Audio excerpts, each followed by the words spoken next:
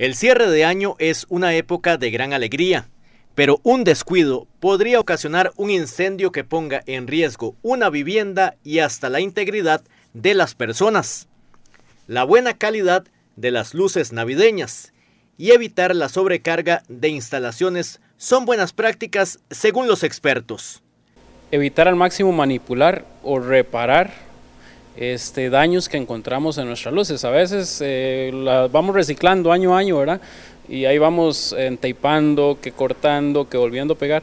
Entonces todo eso puede ser una causa de incendio. Entonces es como lo principal. De momento, ¿verdad? No reparar nada. Si una luz está dañada, este, no repararlas. lo ideal que sean productos certificados, que tengan algún tipo de certificación UL o algo ahí, ¿verdad? Porque lamentablemente a veces lo barato ¿verdad? sale muy caro, entonces evitar comprar cosas muy malas porque por ende nos van a ocasionar un problema en nuestra casa.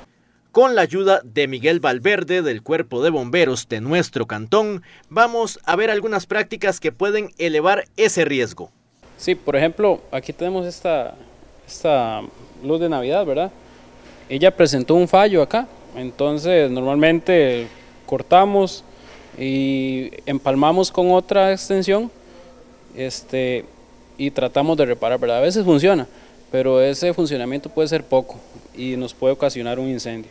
También tenemos lo que es el recargo, ¿verdad? Este, tenemos una extensión, además le conectamos una regleta y conectamos ahí muchas luces, entonces evitar sobrecargar las regletas, este, extensión, regleta no es recomendable, ¿verdad? Si va a conectar alguna luz que sea propiamente a una extensión o a una regleta, no, no sobrecargar las dos, ¿verdad? Este, también tenemos estas luces que son de baterías, en general son muy seguras también, ¿verdad? Entonces esta es muy recomendable también para usar en nuestros hogares. Sí, de hecho por el uso de baterías, ¿verdad? Va a ser este, menos probable que pueda ocurrir un, un incendio, una, un principio de incendio. Entonces es muy recomendable. El asunto es que cuesta encontrar tal vez en los tamaños ¿verdad? que las personas van a necesitar en sus hogares, pero es, un, es una buena opción. Dejar el árbol de Navidad encendido o la iluminación de la casa activada toda la noche también es una práctica que eleva el peligro. No, no, no es nada recomendable, ¿verdad? Este, cuando nos vamos a acostar, apagamos, desconectamos todo, este, y dejamos todo apagado, porque de mientras dormimos nos puede ocurrir un incendio y no vamos a darnos cuenta que está ocurriendo una falla, ¿verdad? A menos este, de que alguien esté vigilando, ¿verdad? Pero no, normalmente no, ¿verdad? Los detectores de humo son una herramienta importante que recomiendan los expertos.